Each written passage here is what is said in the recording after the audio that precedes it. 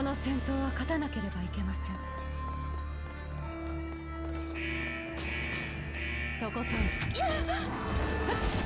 やっ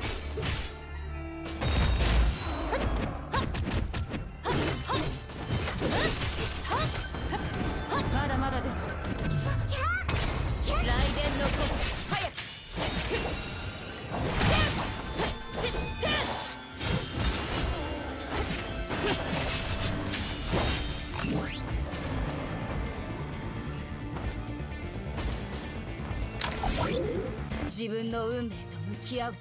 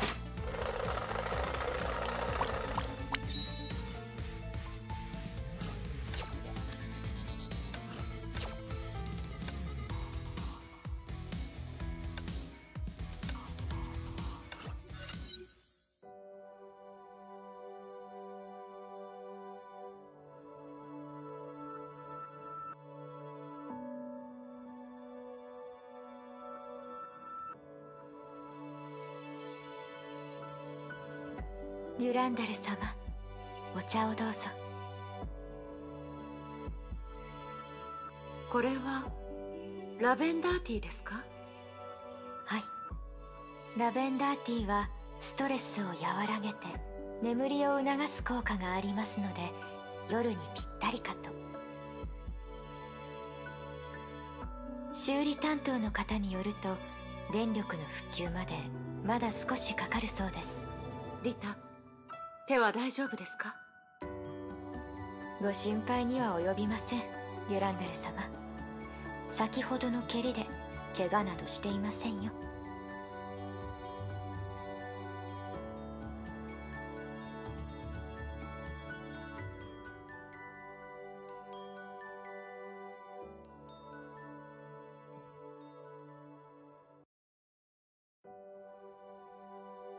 停電した時は私を待たなくて大丈夫です。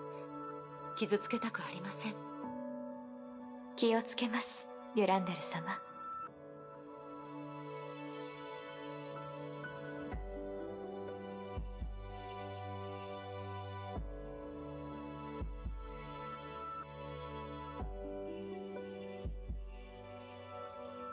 悪くありません。少し甘かったのは蜂蜜を入れてあるからでしょうか？手作業で取った木宿蜂蜜です。ほのかな香りとさっぱりとした甘さが特徴です。リタの入れたお茶はいつも美味しいですね。お褒めに預かり光栄です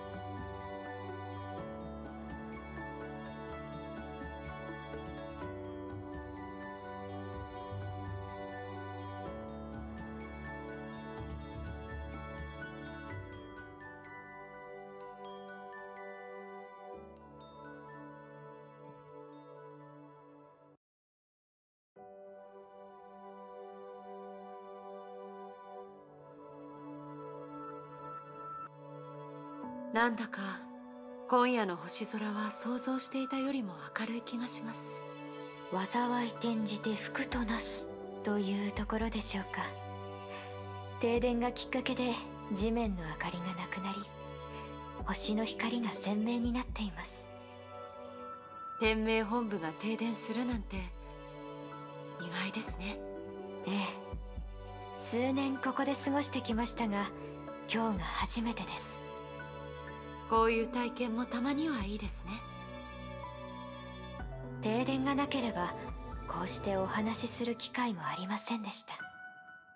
こうして話すのは久しぶりな気がします。前回は確かスターンを飼い始めたばかりの頃でしたね。いつの間にかこんなに時間が過ぎていました。それに年末が近づくにつれ任務も多くなり座って話す時間が少なくなってきています。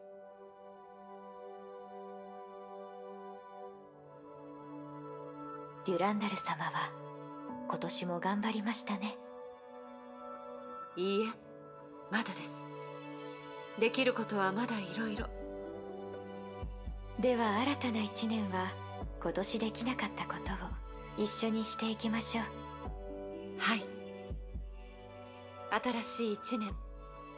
崩壊をこの世界から徹底的に駆逐できますように。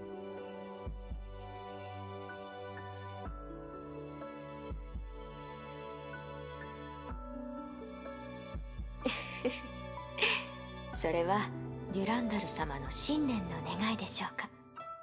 そうかもしれません。ではバルキリー・デュランダルの願い事はこれでおしまいこの先は少女ビアンカが願い事を言うお時間ですね。はい？少々お待ちくださいデュランダル様。いいえビアンカ様。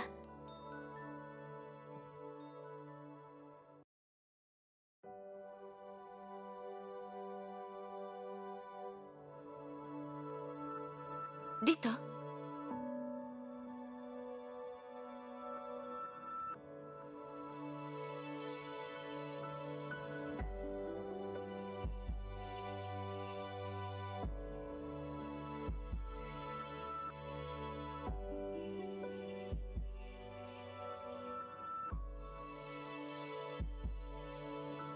ビアンカ様お誕生日おめでとうございます。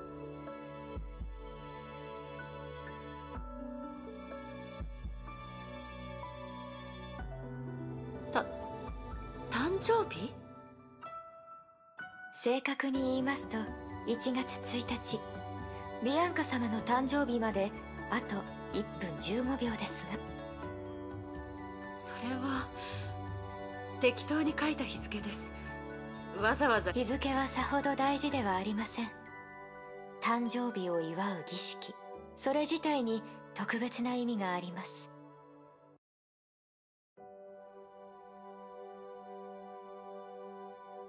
1年間成長した記念。もしくは未来への願いは。この日を特別な日とし新たなスタートラインにするのです。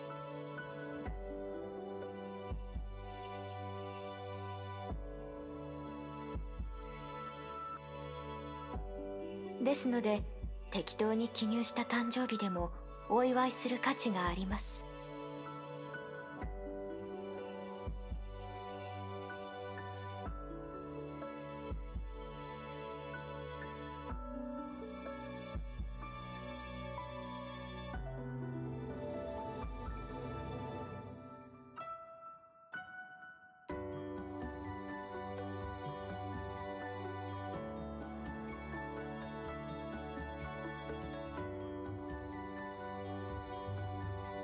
ろうそくに向けて願い事を。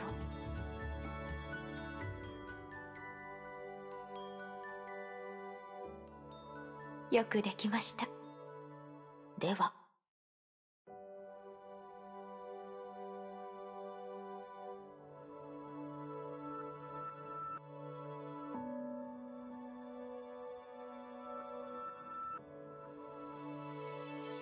一口だけですけでしたら問題はないはずです。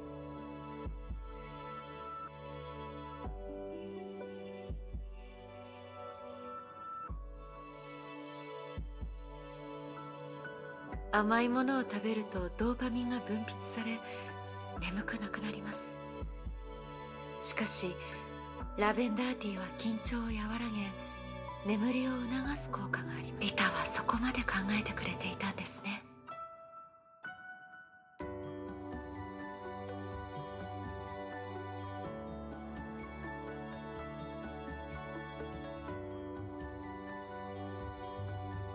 味はいかがでしょうか？悪くありません。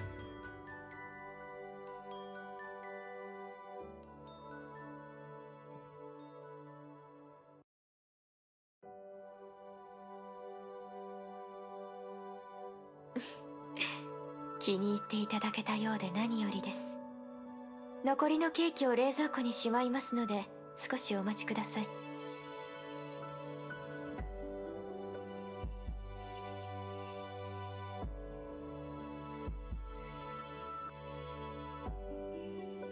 待ってリタどうしましたかビアンカ様？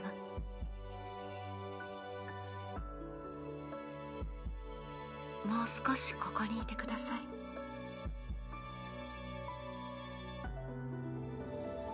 かしこまりましたビアンカ様。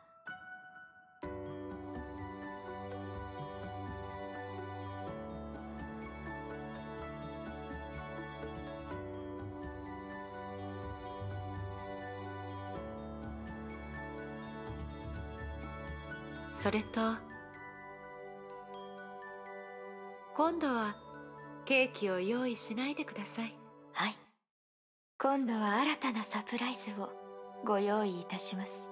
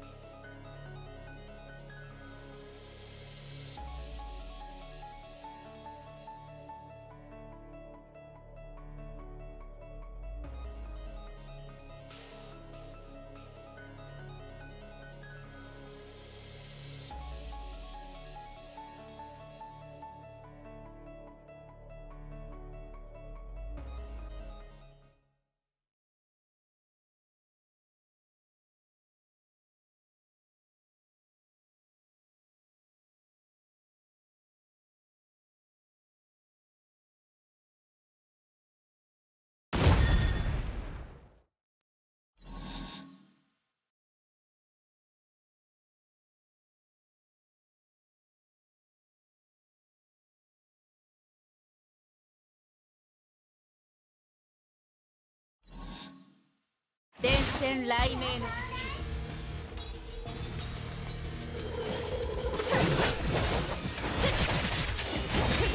標への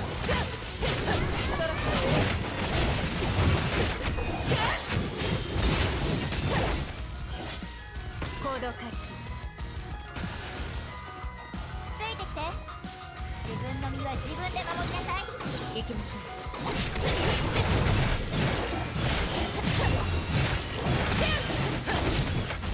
world.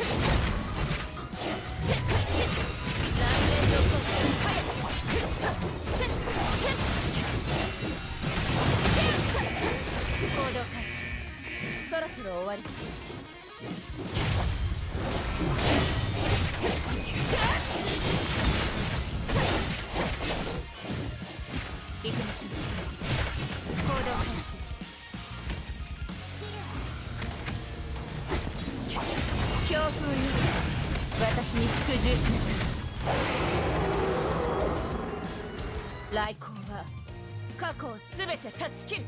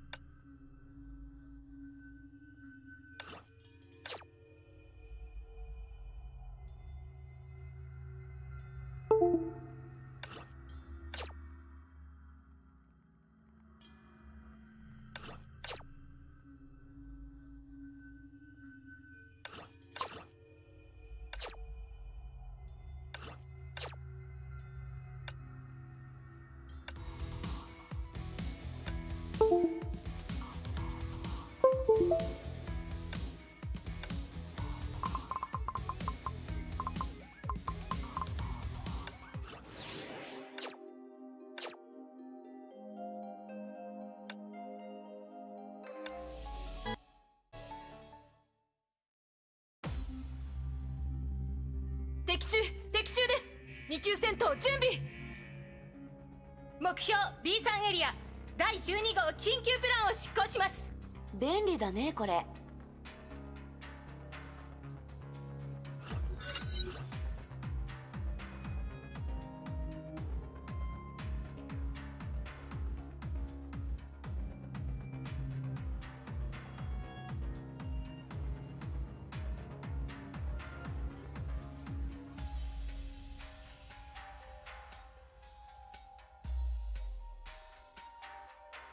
これをオットーに渡したなんて。理解に苦しむ。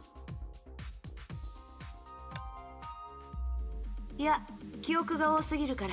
こういう余裕ができたらまたゆっくりとこの5万年の過去を消化するよ。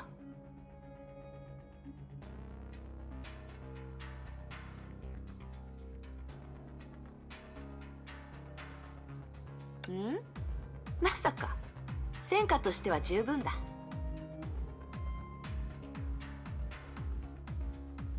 天命とオットーさえ存在しなければこんなに厄介にならなかったしこの世界ももっと平和だったはず。あのバルキリーたちがかわいそう。よく考えれば彼女たちは結局オットーの駒でしかなかった。うまくコントロールできた。檻といくつかの建物だけ壊して。あくそ。誰だって全てを考慮できないでしょう。誰も。あのメイ博士だって。彼女だって多くの人々を犠牲にした。そうでしょ？勝利と正義には犠牲が必要だ。もういい。自分に言い聞かせても仕方ない。とりあえず早く空港を出ないと。まだわからない。世界は広いしどこにでも行けるけど特に行きたい場所はない。旧友たちに会いに行くかもしれない。私が生きてると知ったらきっと驚くでしょう。崩壊はまだ消えていない。のんびりできる日々もそう多くはない。しかし今は出たとこ勝負かな。位置につきました。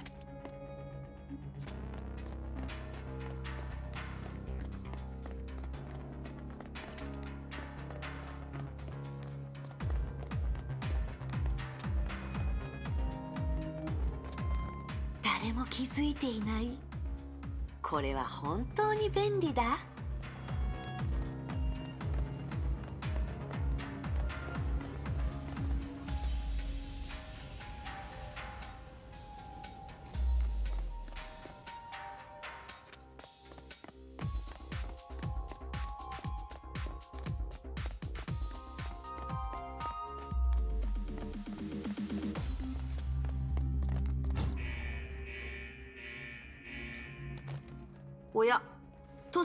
羽は人工知能には効かない。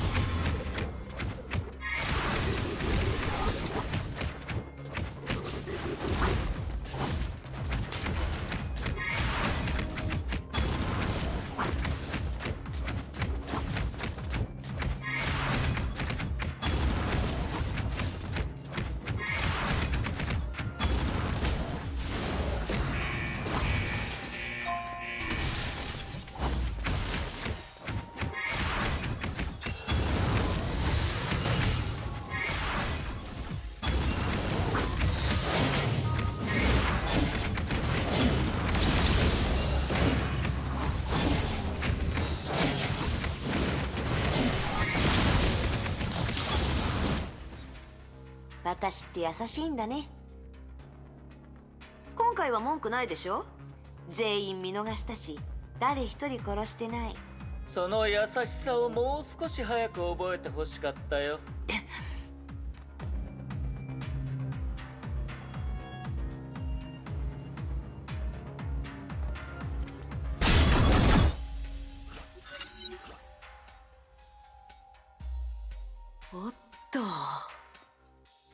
あまああなたみたいなやつがそう簡単に死ぬわけないか。ああ僕は確かに死んだよ。ただ予備用の体は別の場所にあってね。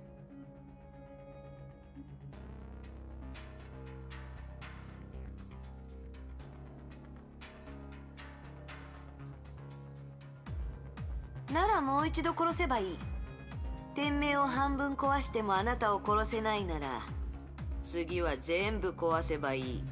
待った。まさか怖いの？私を撃った時今日のような日が来るとは思ってもいなかった？君は悪い人ではない。それをあなたが言うんだ。もちろん私は悪い人ではない天に代わって正しいことをするまでだ。ならば話し合おうではないか。あなたに話すことはない。確かに僕は君を殺した。それは僕の罪だと認めよう。さっき君が復讐しようとした時僕は抵抗しなかった。何を言うかと思えばおあいこ私はあなたの体を一体壊しただけであなた自身は無事だ。それその体を全部壊し復活したくてもできなくするまで私の気は済まないんだ。君だって無事に僕の前に現れたじゃないか。なんだと？僕が君を殺して君も僕を殺した。そして二人とも復活した。それに僕が君の体を治さなかったら君は復活できなかった。それを言うなら僕は復讐の相手ではなく君の恩人だよ。あなたそれは？君が天命でしたことは十分じゃないか。ここは僕のような悪人ばかりではない。彼女たちを犠牲にするべきではないだろう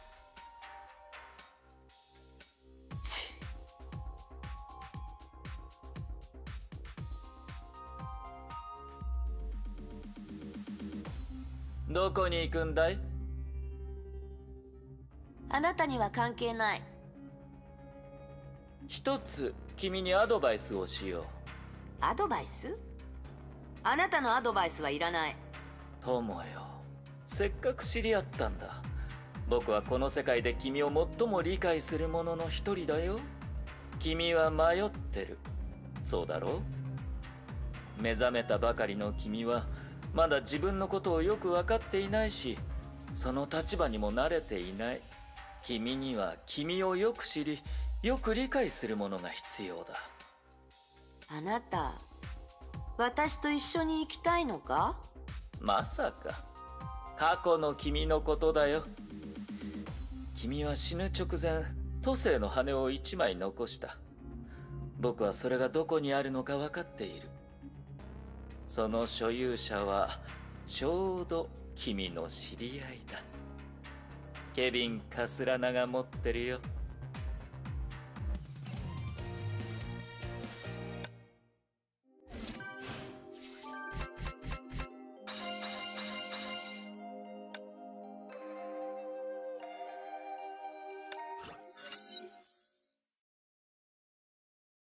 オットーは騙してない。確かに傷を全部治してくれた。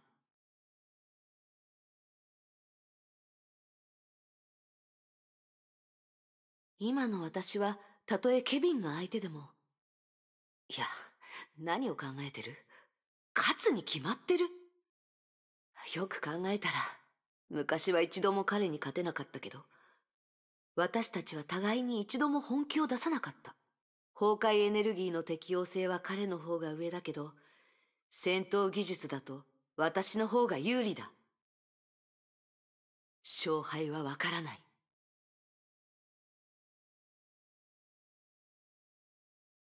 うるさい。そんなの分かってる。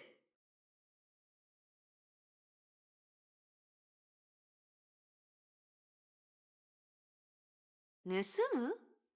あれは私が彼に残したもの。返してもらっただけだ。私は都政の羽の持ち主。あの羽は私を見てすぐ私の言うことを聞いたじゃないか。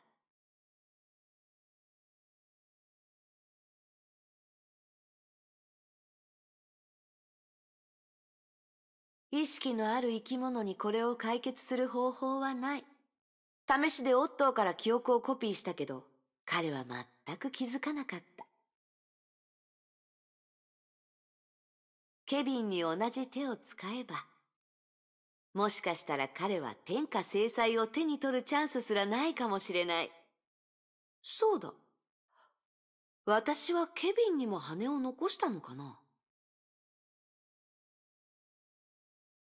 やだめんどくさい。どうせすぐに答えがわかるし探す必要もない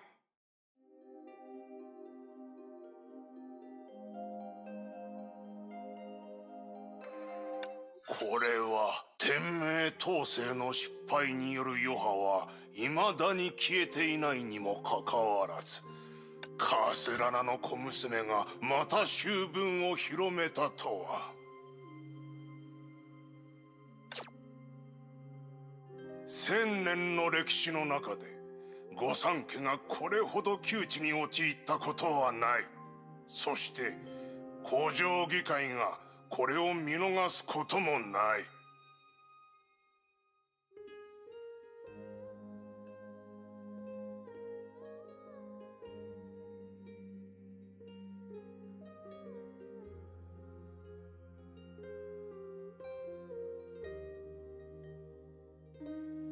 カらなナ家を失脚させるのは始まりに過ぎない。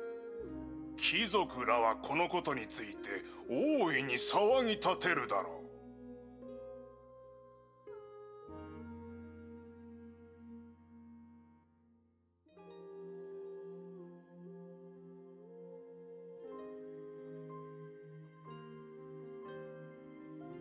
奴らの目的は御三家を取り壊し我々の持っている権力を無理やり議会に譲らせることだ。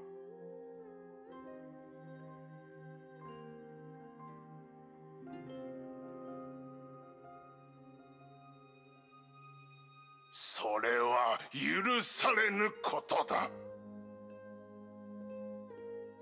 カレン・カスラナは死なねばならぬ。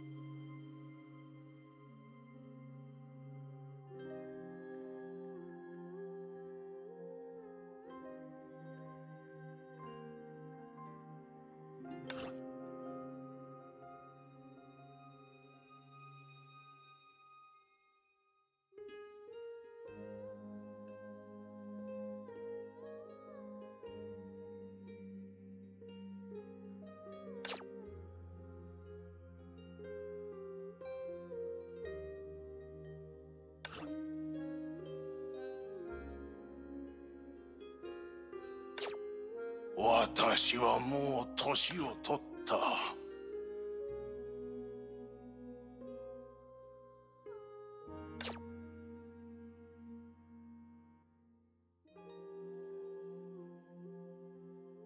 年を取れば人は判断が鈍り知らぬうちに大きな間違いを犯す。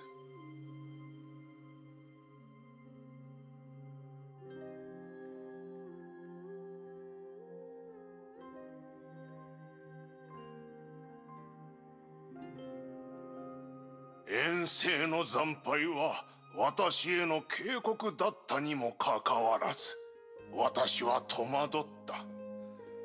撤退を選ばなかったがために弱みを握られてしまった。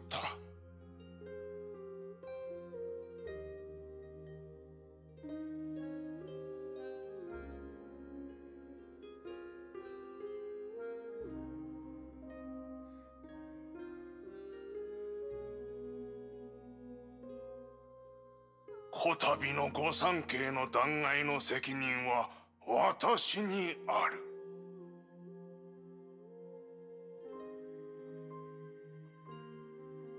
カスラナの処刑後私は古城議会の望む通りに引退を宣言し奴らの不意をつく。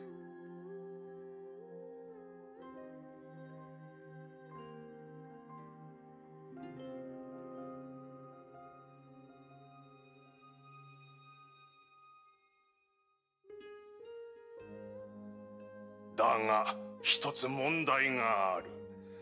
天命主教の座を誰に継がせるのか。理想の継承者はすでに死んだ。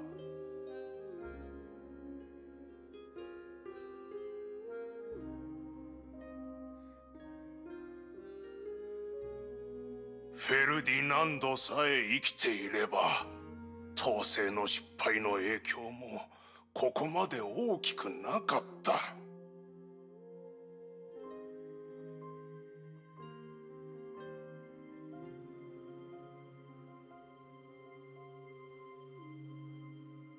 ファビーそしてお前はオットー。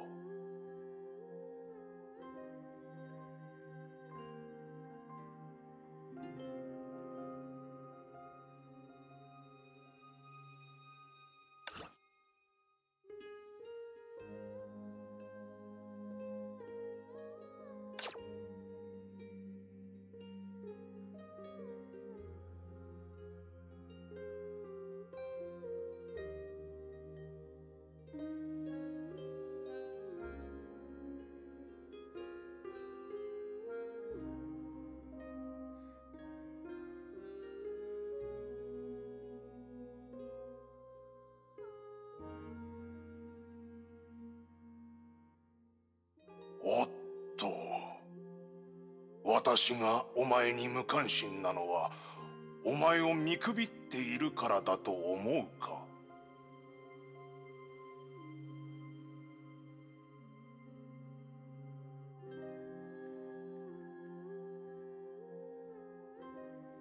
いやとにかくお前も私の息子だ。子供の中ではお前が一番複雑だ。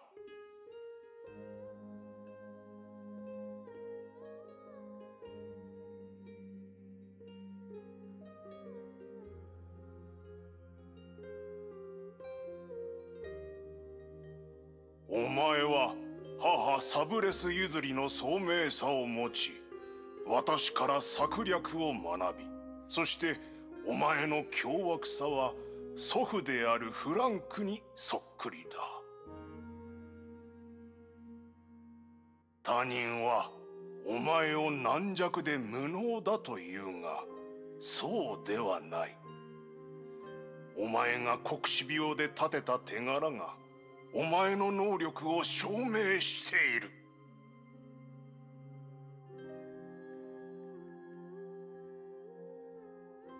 だがはっきり言おう。お前は天命の大司教になるにはまだ不十分だ。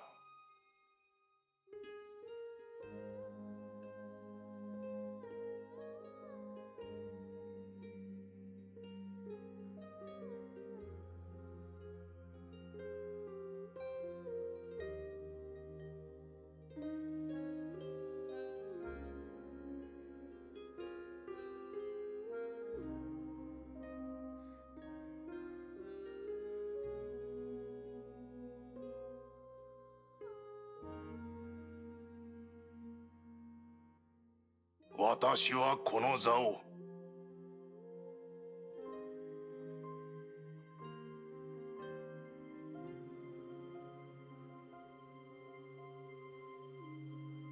フェルディナンドの長男マサイルに譲る。あの子はまだ16歳だが石のように固い心を持ち物事を冷静に処理できる能力もある。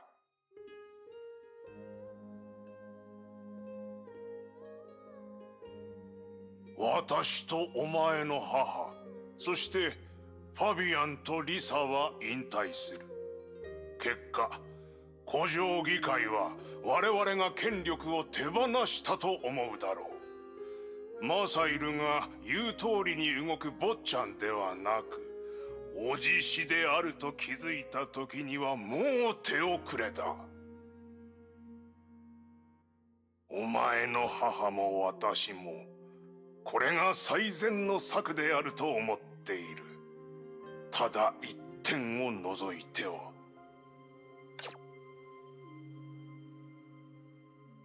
その予想外の点こそお前がここにいる理由だ。今から言う条件をよく聞け。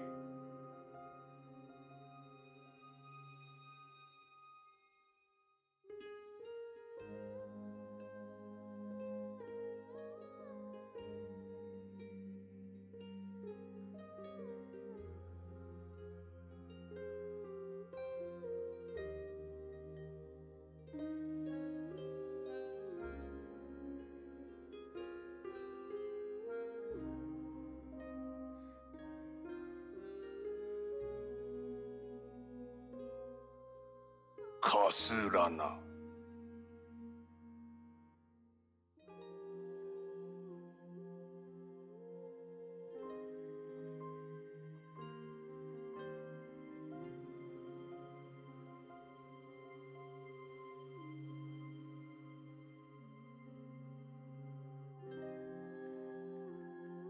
それは天命と御三家の最大の災いの種だ。昔と違いカスラナはもはや我々の確固たる盟友ではない。もしフランシスが生きていればきっと自分の娘がこのようなことになるのを許さなかっただろう。古城議会も図に乗るような状況にはならなかったはずだ。フランシスはすでに死にその優秀な子供たちも疫病や遠征中に倒れ後を継ぐ者もおらぬ。現当主のルカに兄のような才能はない。あれは犬のようにのたれ死ぬ運命だ。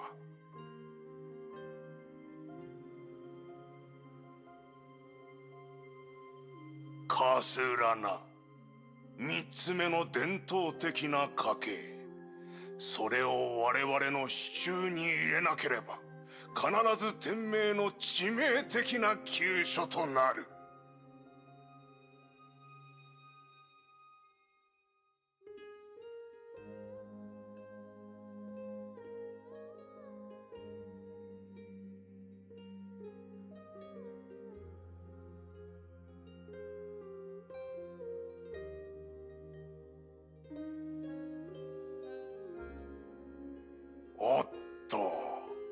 が息子よ。お前に対価として提示するものはお前が決して断れないものだ。そして私の要求もお前には断る理由のないものだ。カレン・カセラナと結婚をしろ。どんな手段を使ってでも構わん。見返りとしてカレンの命を保証し当主の座もお前に譲ろう。そしてルカも代わりに始末してやろう。簡単だろう？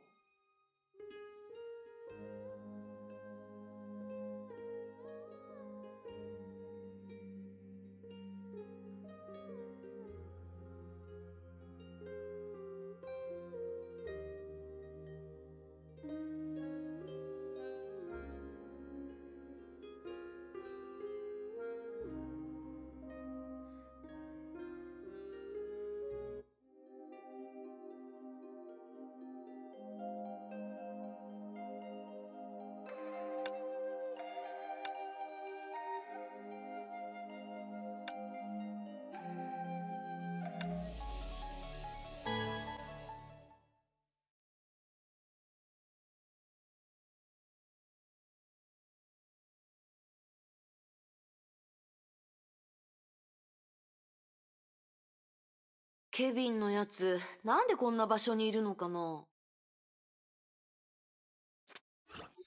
あれ？地下に人がたくさんいる。おかしい。ここの意識にはみんな活気がなく感情を感じない。増えた。うるさい。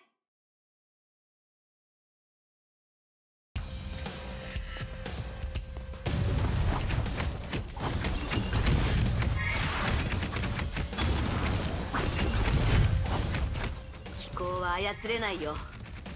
壊すしかないね。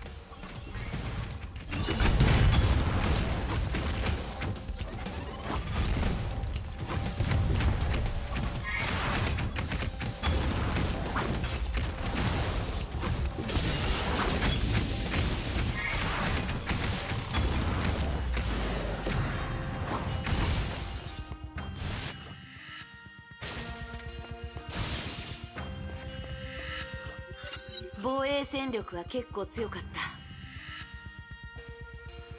た。もちろん少しも怪我してないでしょ？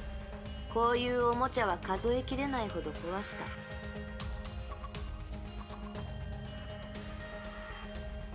一応相手とは何年も戦友だったのだか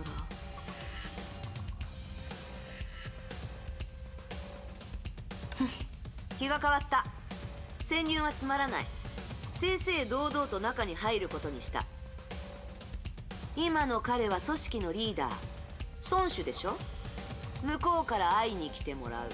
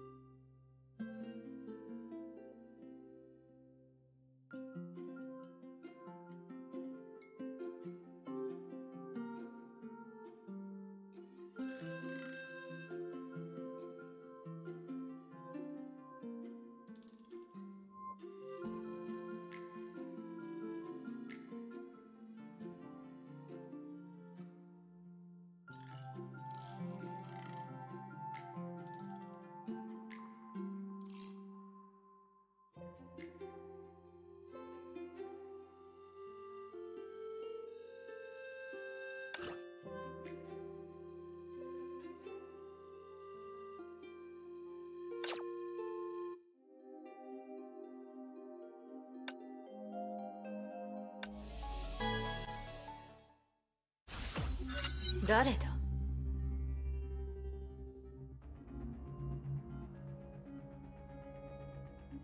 見回りロボットは全部こいつにやられた。おい拡大してみせろ。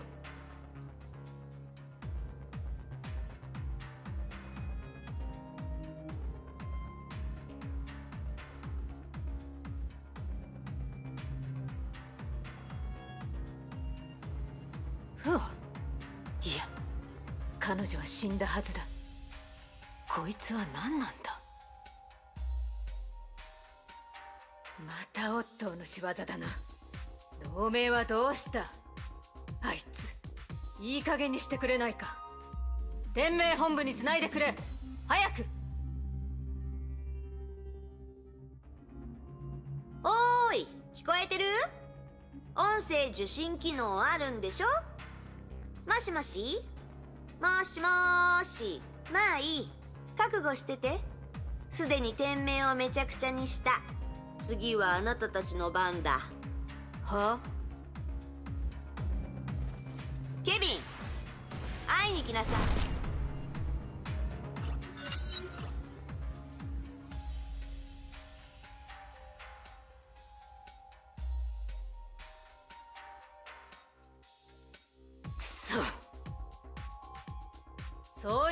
せろ。一級戦闘準備だ。それと絶対にこのようなことで孫子の邪魔をしてはならない。気のせいかな。それともこういう場所はみんな同じ？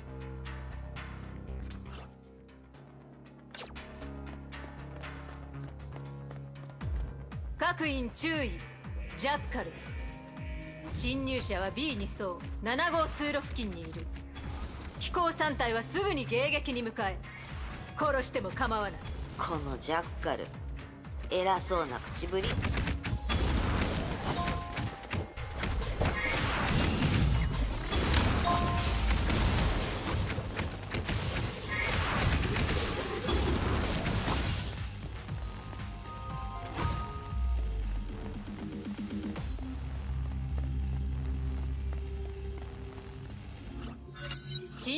は5号と7号通路の境にいる。1体と4体奴を包囲しろ。うるさいな。あ戦術を放送で伝えるなんてバカなの？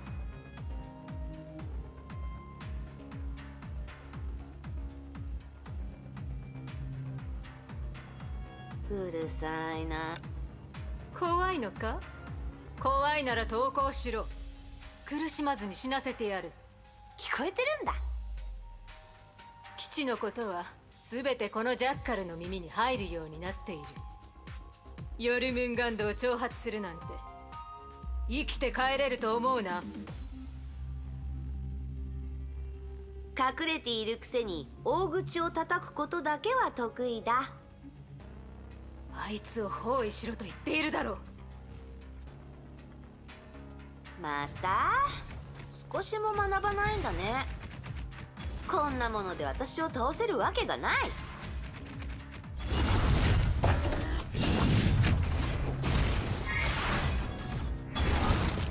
し回収完了。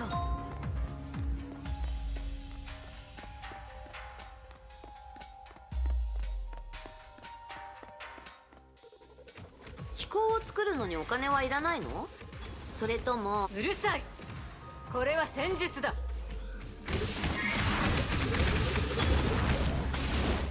戦術がどうしたの？すぐに分からせてやる。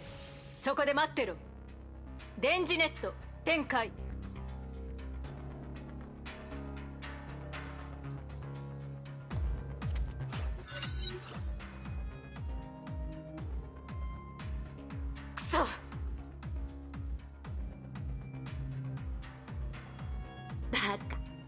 私は飛べるの。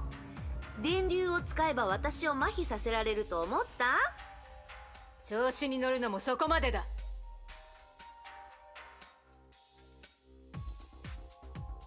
電子レンジは使ったことある？この電磁オーブンの中でいつまで飛べるのか見てみようじゃないか。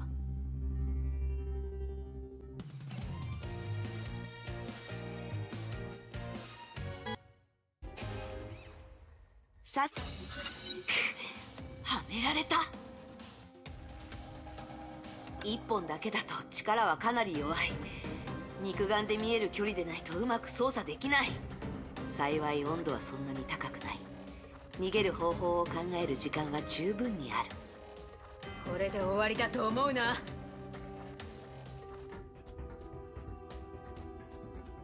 ああ思い切り殺す方が私らしい。さあもがくがいい。時間は多くない。最も弱い場所はこの辺りだと思う。焦げる匂いがして。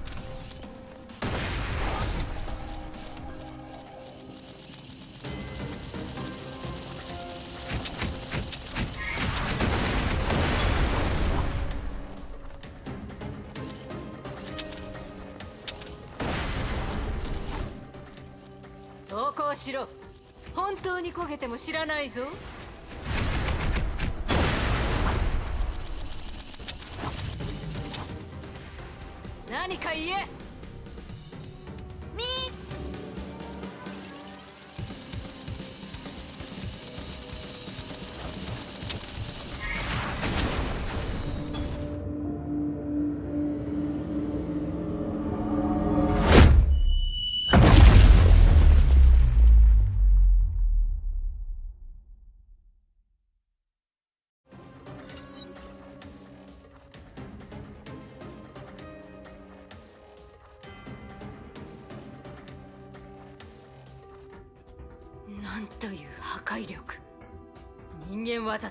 えない。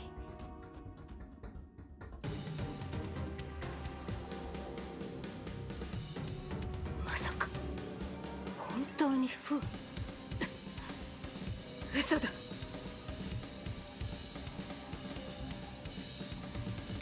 それならなおさら孫子に知らせるわけにはいかない。デス・ステッチャー。お前たちの出番だ。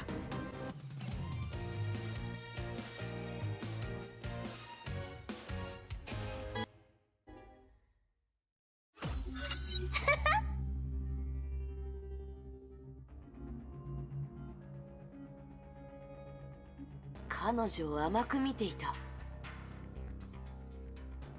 忘れてないよ。でも彼が出てこないんだ。ここまで暴れたのに。ケビンは少しも反応していない。彼の意識は探索できる。鋭く思い。そもそも私がここにいることを知らないと思う。もっ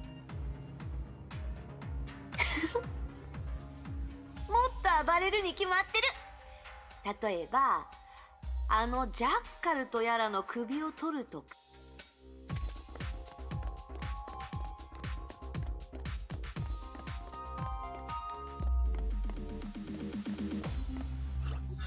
そこまでだ。目的は知らないが。ヨルムンガンドで好き勝手はさせない。科学技術による生物兵器の凄さを見せてやる。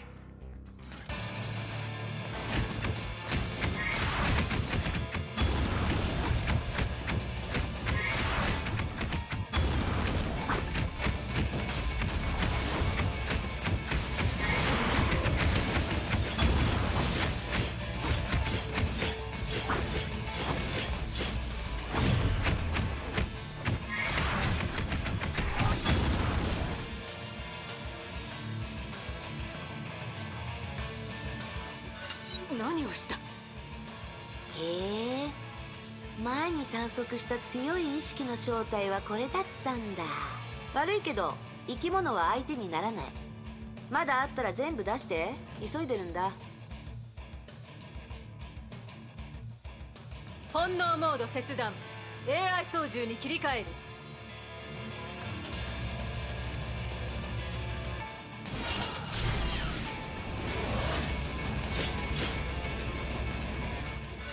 何をした？生き物は相手にならないならしばらく死んでてもらっただけだ。私が相手になってやる。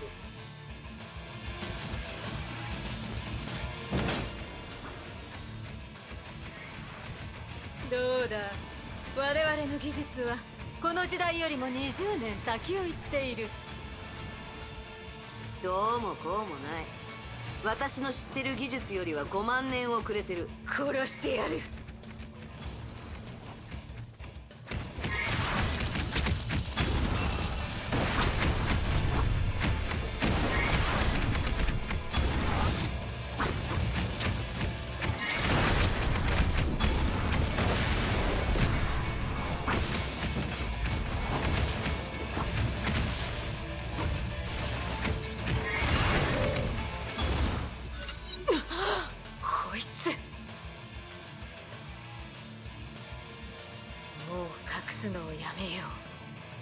う律者捕獲のために用意したものを全部出そう。今日こそ。時間を無駄にする必要はない。そ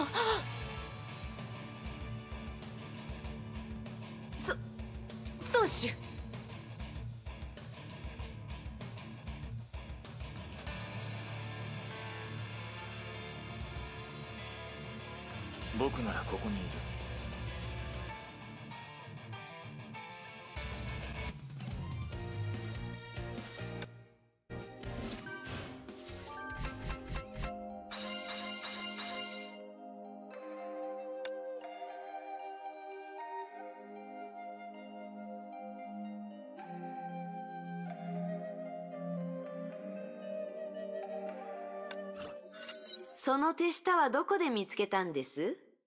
変わった人ですね。彼女は役に立つ。戦闘ではないところで。ああいつものあれですね。崩壊に勝つために使えるものは何でも使う。そうでしょ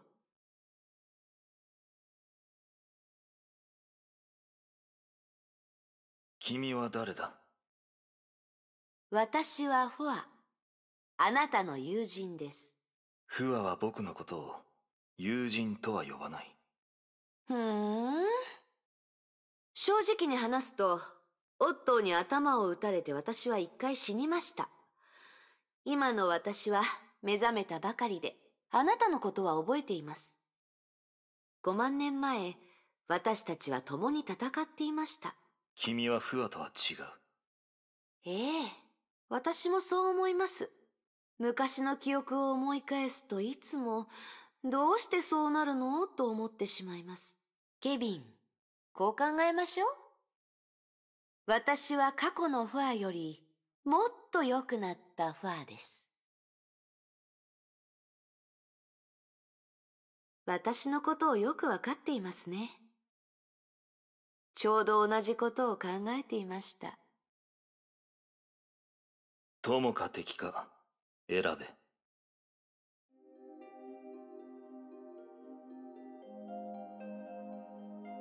こちらはサミットさん。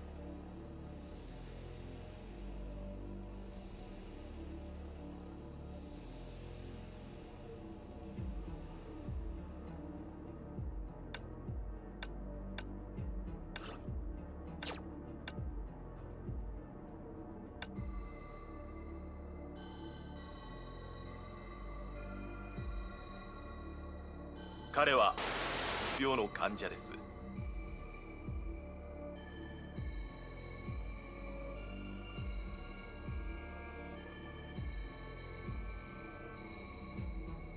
そしてこちらが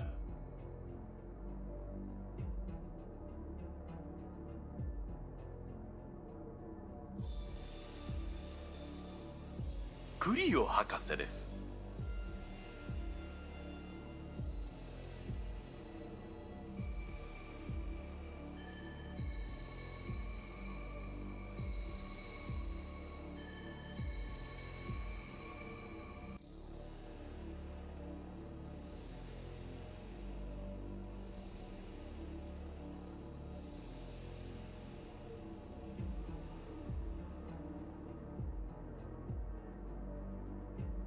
クリオ博士は非常に忙しいお方ですがあなたの状況を理解した後いくつもの会議をキャンセルして面会に来たのです。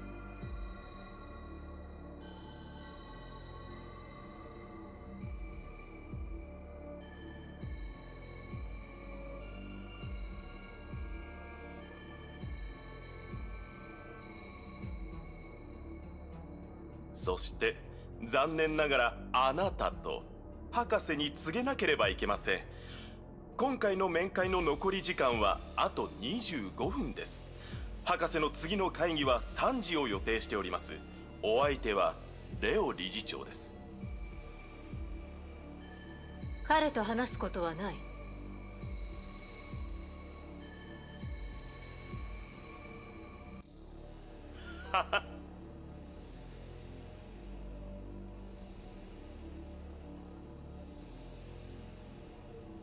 諦めてください。取締役会はただ全ての材料は揃えてあります。顔を出すだけですよ博士。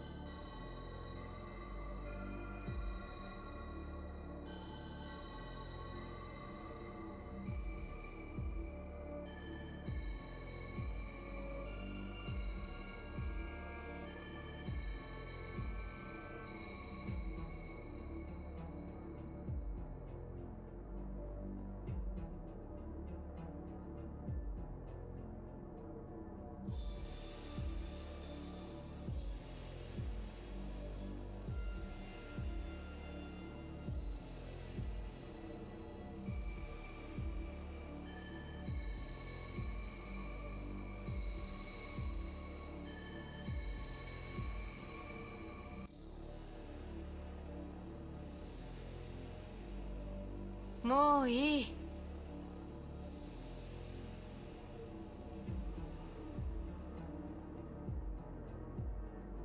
25分しかないのだろう。時間は貴重だ。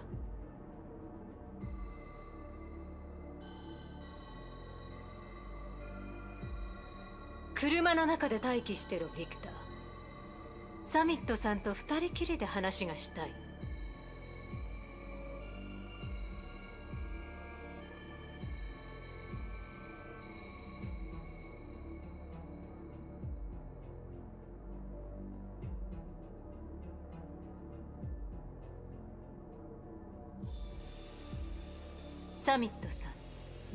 そう呼んでいいだろうか。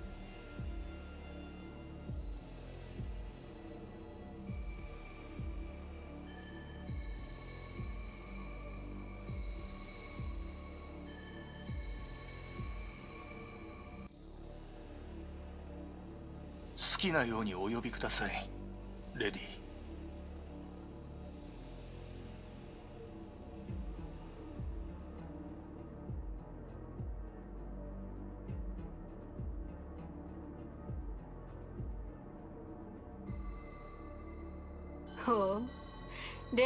しい人なのだな。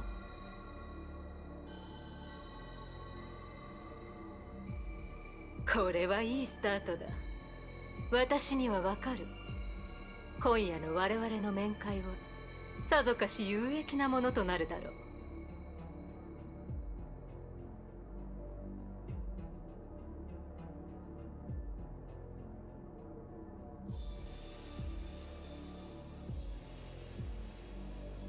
たは自分があとどれくらい生きられるか知っているか。いや。もしかしたら1秒後には死んでいるかもしれないな。長くて2年しか生きられない。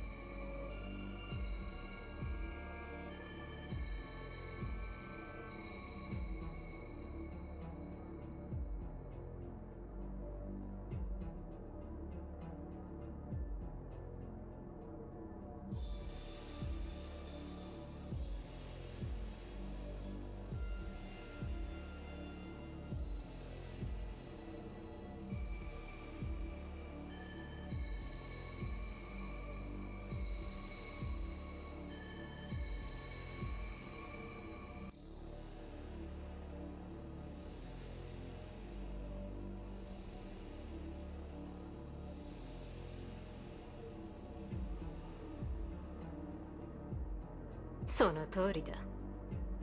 今のところこの病を治療する方法も特効薬もない。誰も全世界で7人しか必要としない薬を開発したくないからな。上条製薬を除いては。上条製薬を除いては。私たちの目的は全ての病を克服することだからな金などのような浅はかなもののためではない。だが全てのものには対価が必要だ。そうだろサミットさん。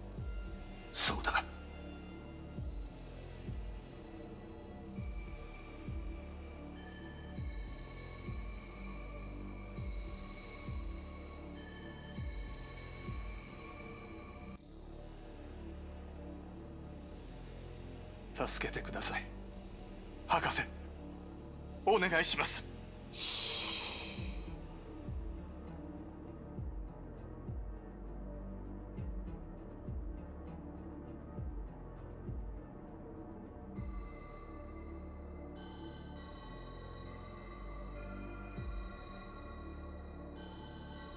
懇願するなサミット。誰にも懇願してはいけない。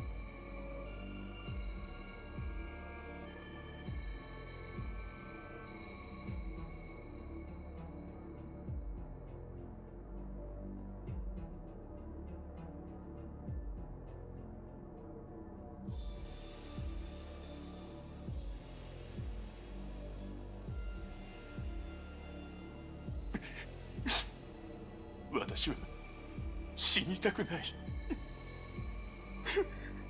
死にたくない。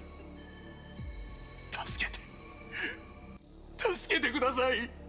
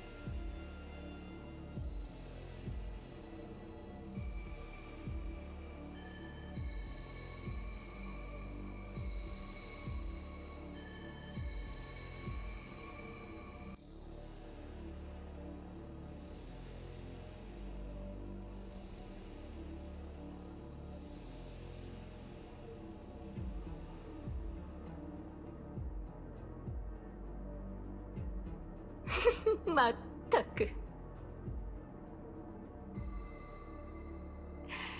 泣いていても仕方ないだろう？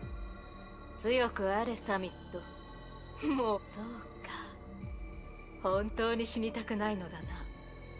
それはよかった。私が必要なのはあんたのような人。性に強い願望を抱く人だ。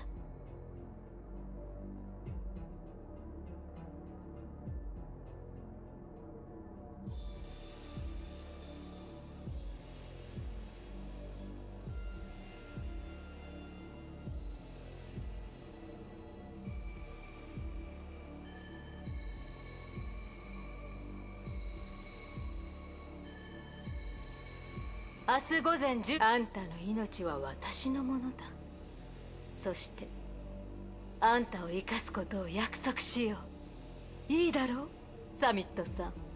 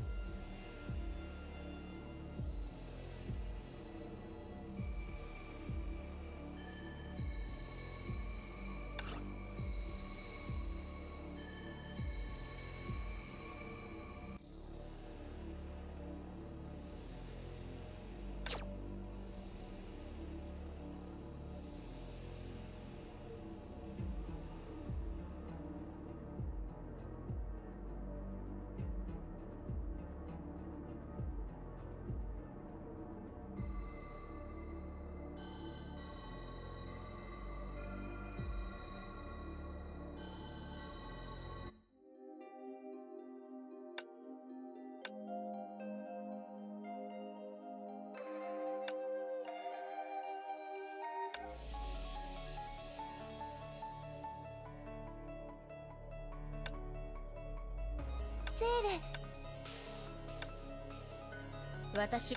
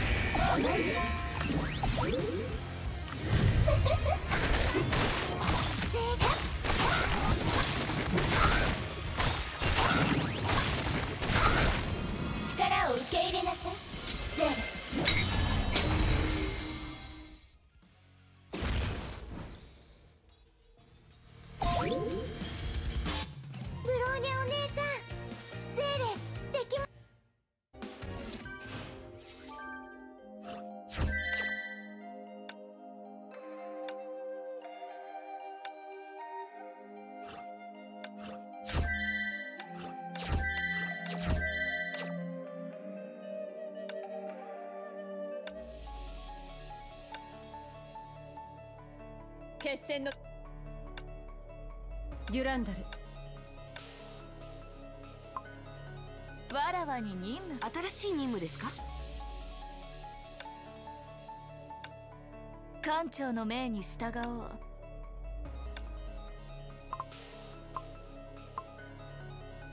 出撃準備。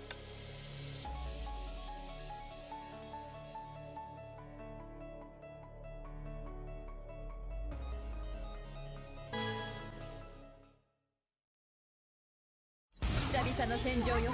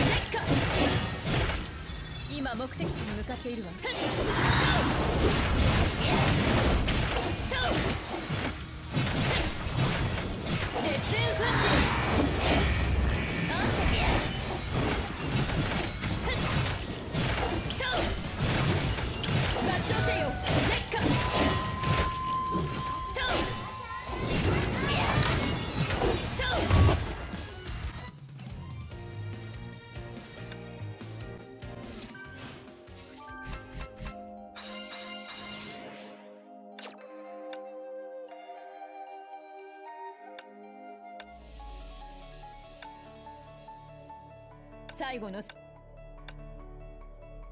崩壊しばらく。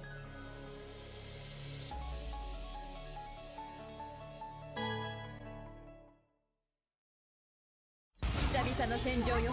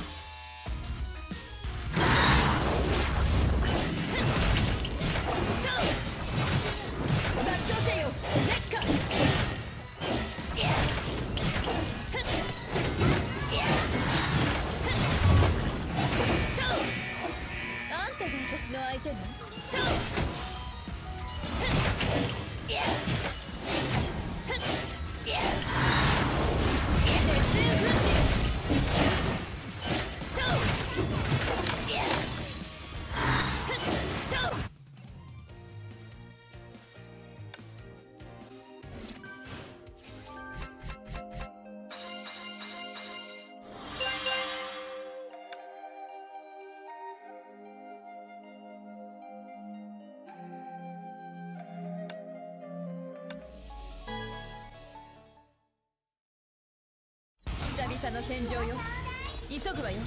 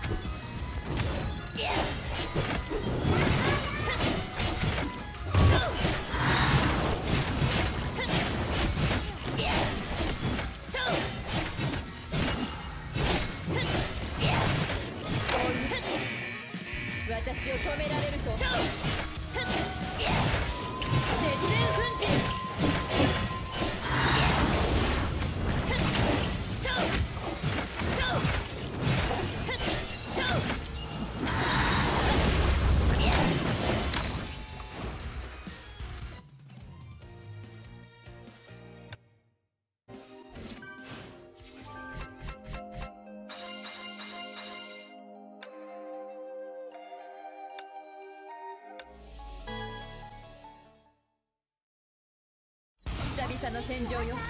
急ぐわよ抜刀せよ。